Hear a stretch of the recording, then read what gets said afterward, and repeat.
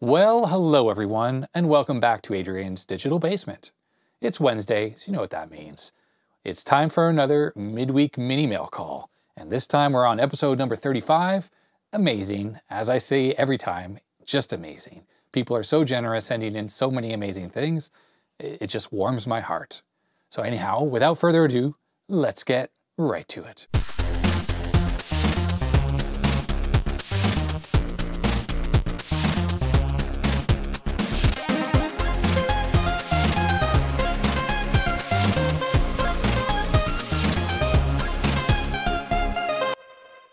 Okay, we have a package here. This actually got to me in December, so it's less than a month old. Uh, it comes from someone who doesn't have their name written on here, Alameda, California. So that's in the Bay Area, just near San Francisco. Let's see what we got. What do we have here? Something long. Something wrapped up really well. Packing material, and down here at the bottom, there's a letter and some stickers and things. So let's see, what do we got here? Let's go right to the note. It says, hello again, Adrian. For this shipment is the, for your Amiga, an 8088 bridge board and the 360K floppy drive. Maybe a cap or two has to be replaced, but both should work. Also included are some random stickers from where I used to work at Sun in the 90s. That's awesome. And some added owned stickers for fun. Also a NASA trash bag for your car. If you cannot fly on NASA flight, at least you can, your trash can feel the warm embrace. oh, that's awesome. This is like from their gift shop, I guess, right? I love it. I love it. That is so cool. Where is there a NASA gift shop? That's cool. I've actually been to Cape Canaveral and I got to see the space shuttle land at Edwards Air Force Base in California. I mean, this was a long time ago. I was a kid. It was in the like mid to late 80s when that happened. But um, and the trip to the Cape, I got to see the launch pad. I don't think the shuttle was there. The shuttle was still flying at the time. I got to. It was it was a really cool trip. They must have had a gift shop at the at the Cape though. I don't remember getting a bag though. So an 8088 bridge card. Um, this allows you to run a PC software on your Amiga 2000, actually any Amiga, I guess, um, and it plugs into the ISA slots and the Zorro 2 slot, so it lets you use actual PC type cards as well. And I have to say, I have never actually used a bridge board in my life. This is not emulation. This is really an entire PC XT on a card here, 8088. Uh, the RAM, everything is all on here. So there it is. It looks like it's in excellent condition. That is the Amiga bridge card, and this is made by Commodore. Now, when you bought one of these back in the day, not only did you get this card, I don't know if this was included or optional, but there was a matching disk drive that went with it. And here it is. Um, in fact, I think it's the same exact color on this faceplate here as the Amiga 2000. So go in your five and a quarter inch bay, and there was a matching floppy drive cable, which is right here, although it's nothing special about it. And you plugged it into this card right here, and this let you read and boot from regular floppy disks, right? You could read the PC 720K disk in an Amiga, three and a half inch, no problem. But a lot of software back then was still coming on five and a quarter inch. So you did need a disk drive. And I think this was the packing one. This is a Chinon brand drive. Maybe not. Maybe this is not the original one. I don't know. But um, any 360K drive will work fine. And yeah, it's pretty cool. I think you could set up a hard drive image on your Amiga hard drive. It's probably really slow. Uh, you could probably also install a PC hard drive controller and actually install a regular PC hard drive in there too, because this does have a regular BIOS on here. I'm not positive on everything it can do, but I, I know those slots were there. The ISA slots are there in the Amiga for a reason. And here are some of the stickers he sent. So there's like Sun Microsystem stickers and all right, well, let's uh, take a look at this stuff on the bench. Let's take a close-up look at the stuff Stefan sent in. So first, let's take a look at these stickers. Owned by CDC, cultdeadcows.com. That's cute. A really cool old vintage Sun Microsystem sticker. I just love it. It's a little faded, the, the purple color, but how cool. I'm pretty sure this is a Java logo here, so it's like a postcard basically. Uh, yeah, sun, java.sun.com, before Oracle owned Sun, obviously. Guess who's .com in the world? Oh, so very late 90s, early 2000s. that's, that's awesome. Terminal accessory, so these would have shipped with actual products. So it would have been stuck on the boxes probably. If anyone remembers these stickers on uh, products that they bought back in the day, please let me know. what should I stick these on? And finally, stop the technology madness. I just, I love it. Uh, yep, this appears to be a sticker as well, one of those clear stickers. Oh, that's just so cool. And here is the Amiga bridge card, the very first one they made. Notice here it says PC Emulator A2000. Trying to get the glare off the camera. So uh, yeah, they call it an emulator, even though it's definitely not emulating much. Commodore basically took an XT and crammed it all onto this card. So it does have RAM here. I guess it's what, 512K of RAM. Here is the 8088 processor. There's space for a math coprocessor. And we have a floppy drive controller IC here. So you can plug the 360K floppy into this interface here. And that's because the Amiga itself doesn't natively support five and a quarter inch drives, at least not that I'm aware of. There's this 25 pin connector on the back here, which I haven't looked at the manual for this card, but I'm assuming this is a parallel port, PC compatible, or is it something for an external floppy drive? It could be, it could be either, I suppose. But yeah, so it plugs into the Zorro 2 slot, so this talks to the Amiga side, and then this 8-bit ISA interface plugs into the passive backplane that is on the Amiga, all Amigas actually, well, all the ones that take cards. So the 2000, the 3000, and the 4000 all have ISA slots on them. And it's only using 8-bit because this is an XT, but Commodore designed the 2000 with 16-bit slots in mind, meaning they intended to make bridge cards with 286s and higher processors, and eventually they did. I think there was up to a 386SX official Commodore card released, which you can upgrade using one of those clip-on 46 upgrades to a 46. So you get some decent capabilities with your Amiga. Jan Beta recently put out a video on the bridge card, which was really informative to me actually, because I'd never used one of these and it was cool seeing him use it. And he tells a story about how his father used an Amiga 2000 at home, but his work PC was a PC, an IBM PC compatible or something like that, and he needed to bring home software and files to work with. So he used the bridge card to enable that on his Amiga so he didn't have to buy two separate computers. That's pretty cool. That's really why they made this thing. So Stefan also sent me this five and a quarter inch disk drive here, which uh, I can put inside the Amiga. Now, I don't think this is the original Commodore one because if you bought the bridge card with the Commodore drive, it looked the same as I think a 1541, maybe. I, I, the styling was a little bit different. This just looks like a regular PC style, yeah, Chinon drive here. So if anyone remembers getting this exact drive with their bridge card, please let me know, but I I think this one is not original. This drive is a FZ502. Let's just quickly take a look to see if that is a 360 or 1.2. But I'm not finding the exact info other than some listings on eBay and stuff that indicate this is a 360K.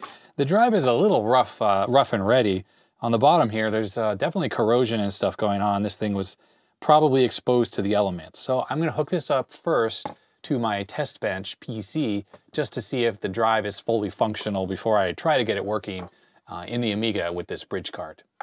Actually, first I am going to just give this thing a little bit of cleanup, uh, quite a bit of oxidation on the connector here. So a little deoxit dripped on there, cotton swab, that will clean it off to some extent.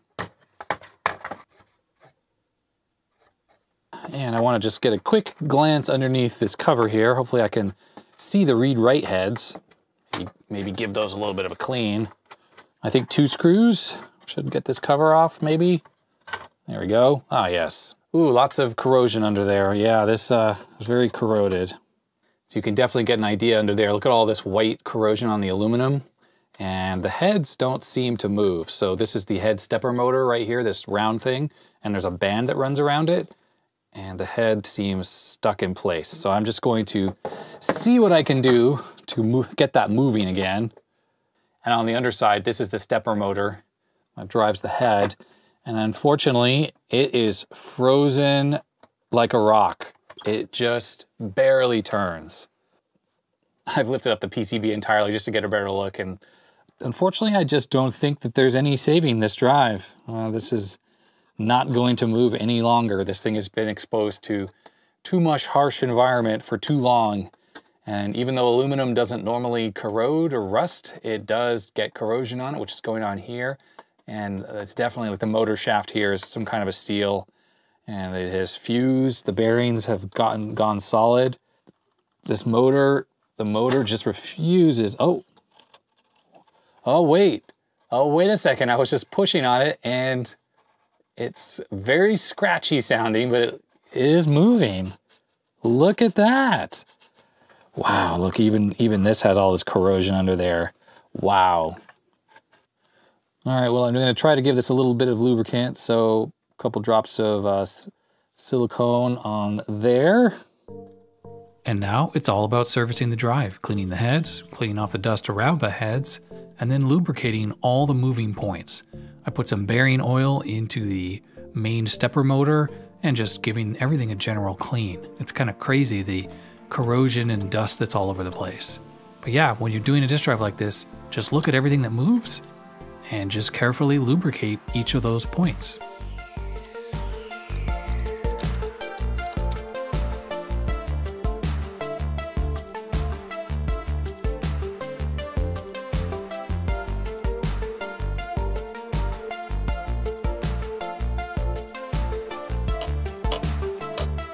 I hooked up the 360K drive to the test bench. Let's power it on for the first time, see if it blows up or something. Nope, no blowing up. So nothing exploded. So let me set it for 360K and save changes. I think I'm gonna have to set the jumper on here to drive select one because that's what the PC wants. This would have been drive select zero on the Amiga most likely. The jumpers are right here. We have RM and then DS 0, 1, 2, and 3. And yes, it's currently set for drive select 0. And there we go, drive select one. Let's test that again. Well, it says floppy drive A failure, so that's not a good sign. Let's put this in here. The disk spins, so that's good. In IMD, I'm gonna use the clean head option. I'm gonna hit nine times. It's gonna try to seek the head back and forth as much as possible. Let's see what happens.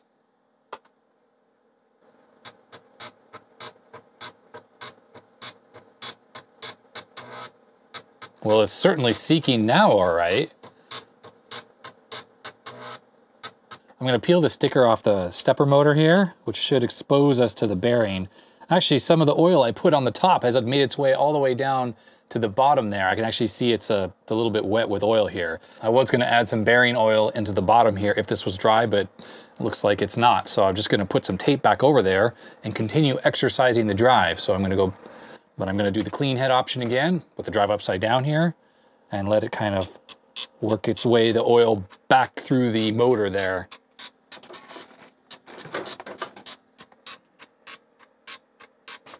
Let me actually run this thing through a cleaning cycle, even though I did clean the heads with the little pad thingamajiggy, but um, not sure if I'm supposed to put alcohol on these other side ones as well. So let's just add it everywhere. There we go. And I'm going to do clean head again, and I'll just do three. Here we go.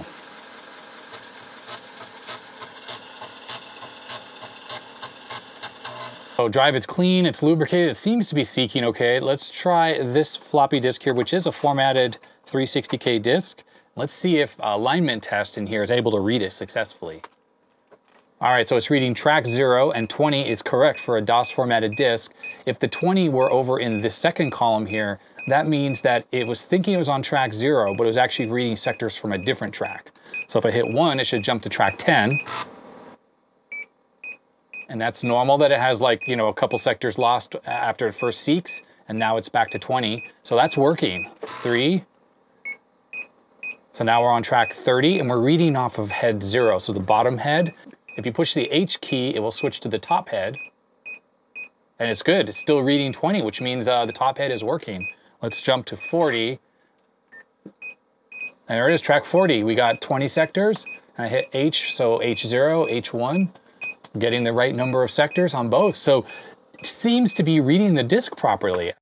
So I've been fiddling around with the drive and I don't know, it's weird. I can't format disks in NFormat, but I can in DOS and disks seem to work fine. So this is a copy of Planet X3.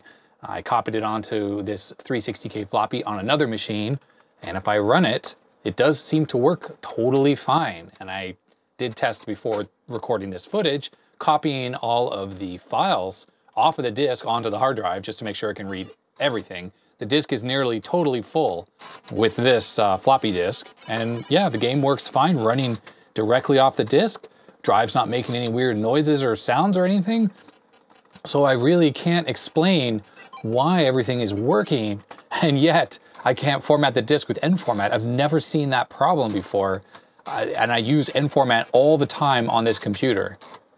I really don't understand why it's not able to format a disk. It always says that there is a bad sector on the second side on, at head number one, uh, and it won't, it refuses to format. And yet it seems to work perfectly. So don't quite understand it. Um, so it's like something is still slightly wrong with this drive, but it definitely should work well enough in the Amiga as it is here to at least read and copy files off disks and, and use it. So I'm gonna do that. Here's my Amiga 2000 that I'm going to be putting the bridge card into. Um, this machine, eh, have I showed this on the channel much? Not a lot. I've had this machine for quite a while. Uh, this was not a donation. I actually bought this thing from a computer store that was going out of business here in Portland. This was quite a few years ago, but yeah, it's a few little mods here and there. So it's um, it has a lid, of course. I have the battery, a CR2032 right here with a diode so it's outside for easy changing, while outside it's under the front cover.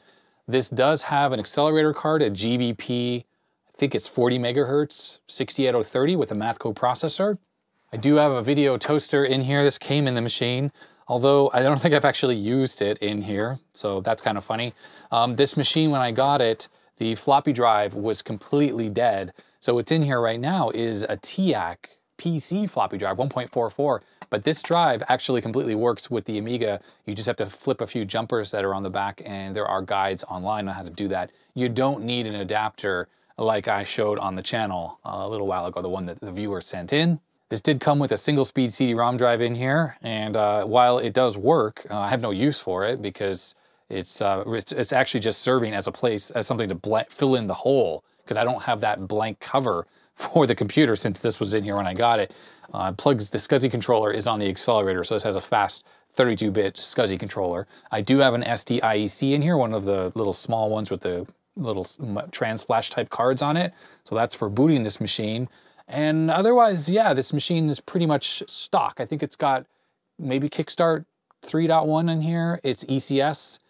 Don't have any other cards in here. Um, it's a revision 4 motherboard which actually, while that works, uh, when the battery damage was very minimal, there was pretty much just a little bit of corrosion around the ground plane around the battery. So that was caught early. But unfortunately, there's one weird issue with this machine is when you turn it on when it's cold, it doesn't boot up. Um, it just sort of hangs. And you either have to reset the Amiga with the keyboard or power cycle it, and then it boots normally. I think it has something to do, oh, and it only happens when the accelerator's in here. So I think that has something to do with the way the accelerator works with this like 4.x motherboard, that it would be fixed if I modded this into a 6.0 or 6.1 motherboard or whatever it is. If anyone has any thoughts on that, please let me know. But anyways, it doesn't stop me from putting the bridge card in here, and uh, let's go ahead and do that. Oh, I forgot to add, I'm gonna be replacing this 1.4 meg drive with a real Amiga drive. And the reason why I'm doing that is because this is a much thinner profile. It is like designed for a PC and the Amiga drive is thicker. So it leaves a big gap on the bottom, which I think is kind of ugly. I'm sure I could find something to 3D print a little spacer and then paint it and whatever. But ultimately, I'd rather just use the real floppy drive here. And actually I have two, um, but this one here is a parts drive now. Both of these came from George, the guy who donated uh, the Commodore PET 2001 to me. He donated an Amiga 2000 as well. It was in, unfortunately, really, really rough shape inside. Battery had leaked. It had also been dropped. So the case was all bashed on the corner here and the motherboard was damaged. So I salvaged out um, all the parts out of it, uh, including some really cool cards and things. I had a 68040 accelerator, but it's not working actually either. I think battery corrosion got to it or something. Um, but anyways, two floppy drives. One was missing the faceplate. Um, both didn't work, but I took both and combined them and cleaned them and lubricated them and made one working drive with the faceplate, which is what this one is. Um, this one actually just needed a good clean, but the main problem with it is it had one surface mount cap right here that had leaked and the motor wasn't spinning properly and whatnot. But with the replacement cap, cleaning that up, this drive now works really well. Um, and I did uh, install a little floppy door on here. And this was something I had in my parts bin. Notice it's like a white color. I don't know where that came from. It's compatible. The faceplate um, is from this other parts drive here. And then the LED is from this as well. And unfortunately, these are a little bit different the way that they work on the bottom. So the LED connects right here. And it's slightly different, which is why on this one, the LED actually sticks through the front a little bit and it's not flush. When it was on here, the faceplate and the LED, it was flush.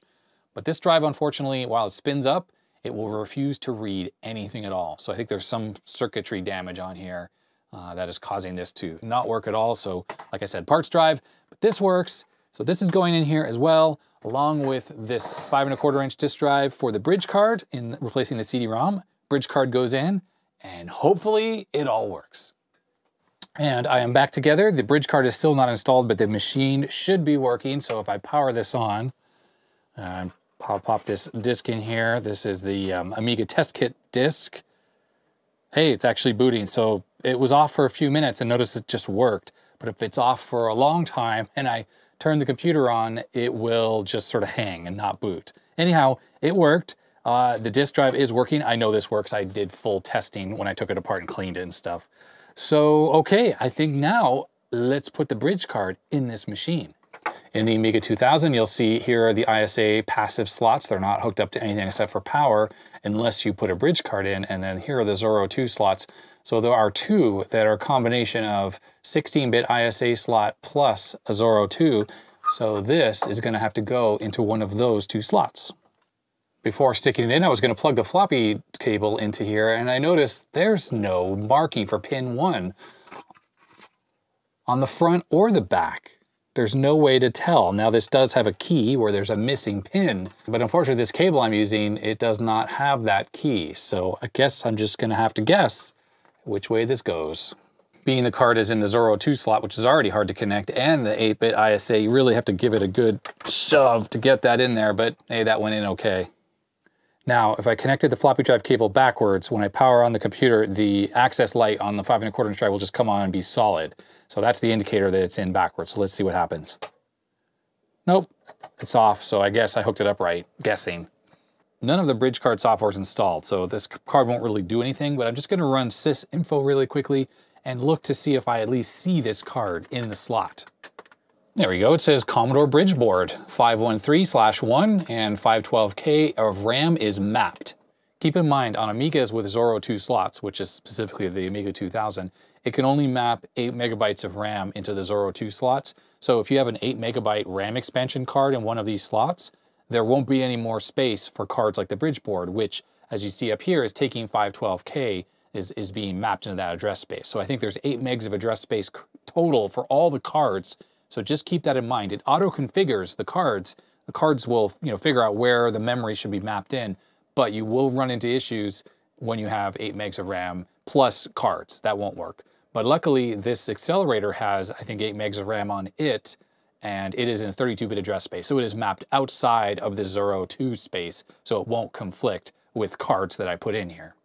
All right, so I have the 2000 connected to the TV here. We got color display and I have my Gotek hooked up. So I downloaded the latest version of the software for the bridge board for this 8088 version, and I have it in here. It's Amiga Janus.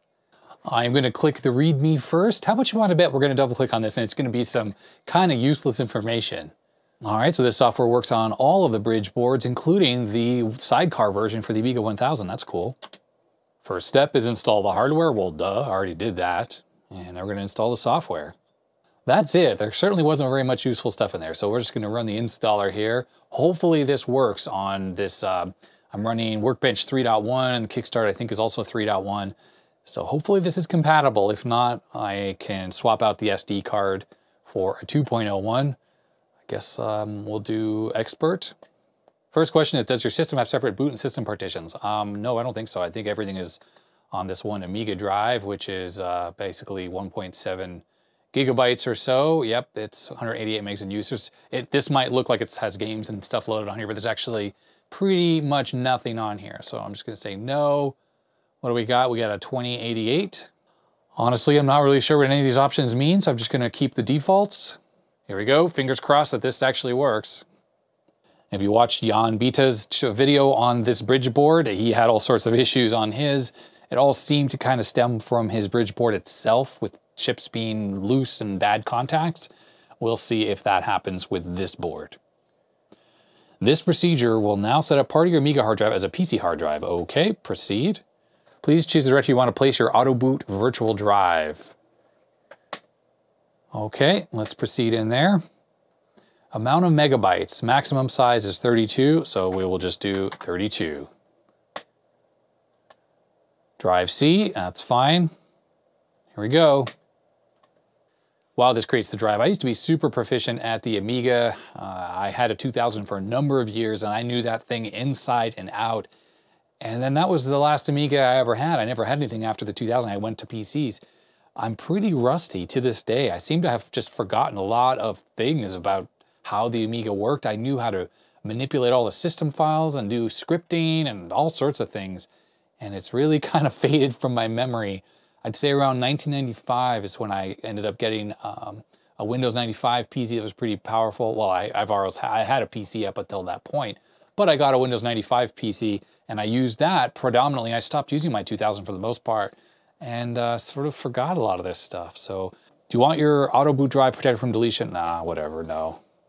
Uh, something about the buffers here. All right, that's fine because I have lots of RAM on here. Please insert your boot disk in the drive you booted from and click proceed. If the data's in the drive, okay, I don't really know what it's talking about. Problem with startup sequence. Oh, great. So that didn't work. Did it actually do the install or did that just crash entirely? That is terrible. Well, there is a drawer here called PC. Let's move it off to the side here. Let's look in there. All right, well, there's stuff in here. So does this mean it's gonna work still? I don't know, PC prefs. Oh boy, uh, I'm gonna reboot the computer. Hopefully that helps. And it's screwed up, look at that. Can't open Janus library. I'm sure, yeah, I won't be able to start anything. There's the virtual drive at least. Okay, in the CLI, I assigned the startup uh, to be Amiga colon S, which I think should do what the installer wants and I'll try installing this again and hopefully we don't error out this time.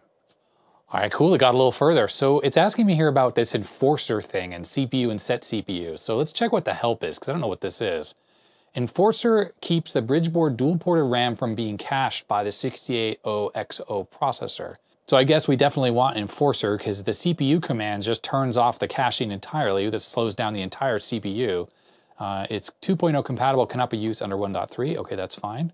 It is recommended you install Enforcer for better performance and SetCPU disables all caching to off. This slows down the entire CPU. Okay, so we are going to use Enforcer. Here we go, proceed. Okay, install complete. Good sign, it's better than it was before. So did this actually make a working setup? Let's check again. And right away, could not open the library. Well, at this point, well, I'm going to reboot here since it's not working, but not holding out hope. This is sort of similar to the problems that Jan ran into on his. And really, his issues were all about the bridge board itself not working properly, but talk about horrible diagnostics. Is the issue I'm having with my bridge board? Is the issue I'm having with the software, like my system install? Where is the problem exactly? Because it's certainly not being particularly clear. After a reboot, I am not holding out hope. Yep, could not open. Such crap.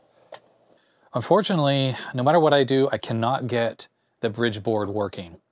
I actually ended up reseating all of the ICs on here using uh, deoxit in all the sockets as well. I even went as far as changing out the CPU. After doing a little bit of research, the way this seems to work is when you launch the software, what it does is it boots up the PC and the BIOS on here will actually write to the shared memory, the, the dual ported memory that's right here, this uh, 128K, and that's how the software on the Amiga side knows it's running. So when you get this could not open janus.library error, that specifically means that it timed out trying to talk to that shared memory. Now there could be a ton of different faults on this card, causing this error and there's really no way to do any diagnostics on this thing. So that's why I swapped out the CPU and I even did read the BIOS chip that's on here in my TL866 programmer just to make sure that it was good. And Not that I have an original copy to compare against, but it reads fine and I see code in there and I, you know, messages and it looks like a regular PC BIOS. I even went so far as to boot this computer off Workbench 2.0. It still has a Kickstart 3.1 ROM in here, so I didn't change that. But I did a 2.0 and it didn't really make a difference. I installed the software on, on a fresh hard drive, basically a different SD card. So that didn't make a difference either.